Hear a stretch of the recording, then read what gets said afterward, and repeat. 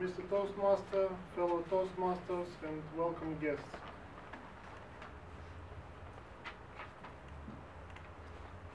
To know wisdom and instructions, to perceive the words of understanding. The above phrase from Solomon's Book of Proverbs is said to be the first written down by Moses Khorenatsi after his invention of the Armenian alphabet. Today, I will tell you about the heritage of Armenian.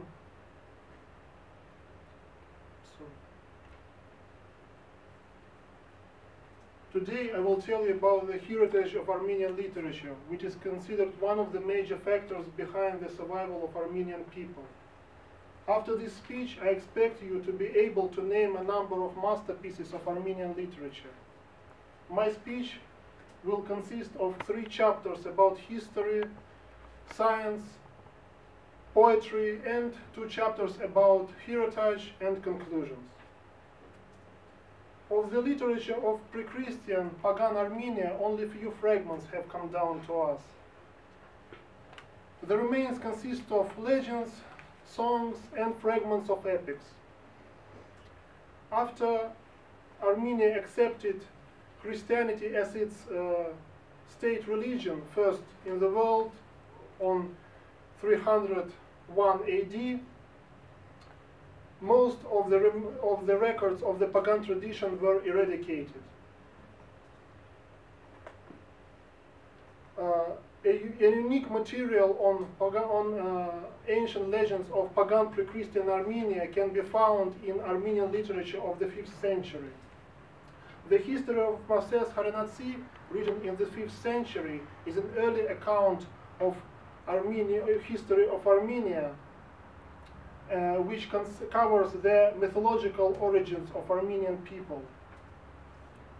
This work is recognized as a useful source for research of early Armenian history and ancient kingdom of Urartu, which was located on Lake Van in Armenian highlands.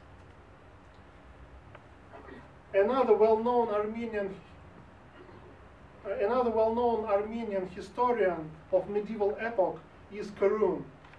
After the death of, of Mashtots, he was given a task to write Mesrop's biography. His book, The Life of Mashtots, contains a lot of information about the uh, evangelization of Armenia and invention of the Armenian alphabet. The period of time between 500 AD and 800 AD is generally considered the dark age of mathematics in the West. During this time, only few scattered centers remained where mathematical activity glimmered. One of such centers was school of mathematician and philosopher Anania Shirakatsi in Armenia. He, he, he he, he takes a unique place among the writers of the 7th century.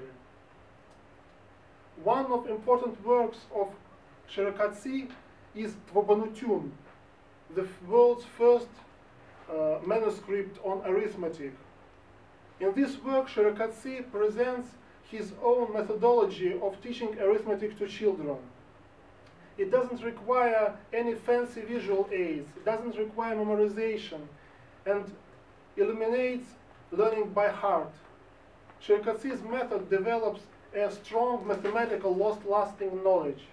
This method has been used effectively in Armenia for centuries and proved itself very useful. This 7th century methodology can be adopted and effectively used by elementary school teachers in 21st century diverse classroom environment. From the late 10th century, novels and especially poetry grew considerably in Armenia. Well known was the name of Grigor Narekatsi, who lived in the 10th century. The world knows him as Armenia's first great poet. He wrote the book named Book of Proverbs, written shortly before the first millennium of Christianity, it is well known as gems of Christian literature. Uh, the Mesrop Mashtots Institute of Ancient Manuscripts, or Matenadaran, contains about 1700,000 manuscripts and other documents about history, geography, philosophy, arts, uh, science, and medicine. It contains uh, a lot of documents by, by classical and medieval historians such as Moses Khorenatsi and Yegishe and other writings of not- notable Armenian figures. Except Armenian literature, it contains more than 2,000 documents of historical doc- documents written in different uh, foreign languages such as Arabic, Japanese, uh, Russian, and etc.